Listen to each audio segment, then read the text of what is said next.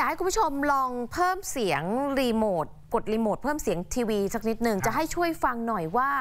เสียงเพลงจากตรงเนี้ยจากร้านอาหารตรงเนี้ยมันดังหรือเปล่า ลองฟังพร้อมๆกันค่ะ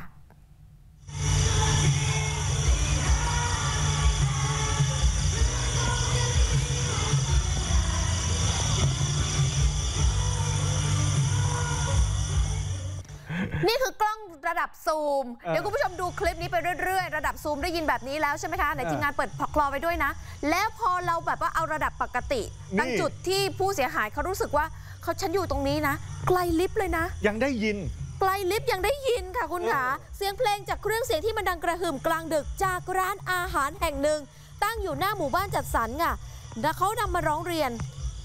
ชาวบ้านบอกไม่ไหวแล้วก็เลยมาร้องเรียนนะคะว่า ทุกชาวบ้าน ให้ตรวจสอบร้านอาหารแห่งหนึ่ง อยู่ในเขตเทศบาลเมืองหนองบัวลำพู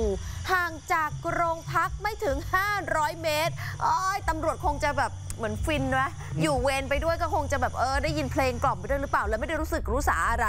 แต่ชาวบ้านเขาทุกข์นะคะ เนี่ยแล้วเสียงมันดังแบบนี้จนชาวบ้านในพื้นที่เขาบอกไม่ได้หลับไม่ได้นอน ถนนก็แคบจอดรถริมถนน รถพยาบาลจะไปส่งคนเจ็บกว่าจะผ่านทันไปได้เนี่ยทุลักทุเล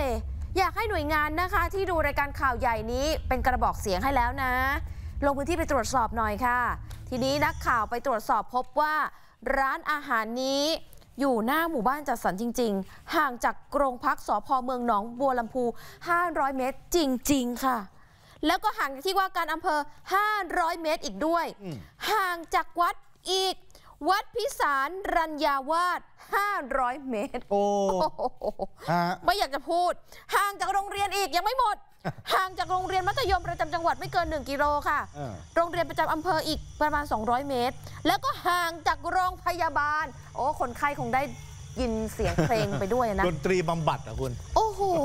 ห่างจากโรงพยาบาลหนองบัวลำพูประมาณ 1 กิโลค่ะ ฮะ แล้วด้านหลังร้านอาหารเป็นอะไรรู้ไหมคะ หมู่บ้านจัดสรรเป็นชุมชนค่ะ มีชุมชนบ้านห้วยบง บ้านหาดสวรรค์ มีคนอยู่อาศัยหนาแน่นนะคะ ชาวบ้านพูดเป็นเสียงเดียวกันเลยว่า หนวกหูมาก ไม่ได้หลับไม่ได้นอน อยากจะเงียบให้เงียบสงบซะหน่อยนะคะ ช่วงกลางค่ำกลางคืนเนี่ยให้หน่วยงานมาดูหน่อยค่ะ ขณะที่หน่วยกู้ภัยบอกว่าบางคืน รถลูกค้าจอดรถสองฝั่งเลยลูกค้าที่มาร้านอาหารน่ะครับจอดสองฝั่งเลยทำให้รถพยาบาลรถกู้ชีพเวลาจะไปส่งคนป่วยมันลำบากไงคะหน่วยงานในพื้นที่ตรวจสอบหน่อยนะคะ เทศบาล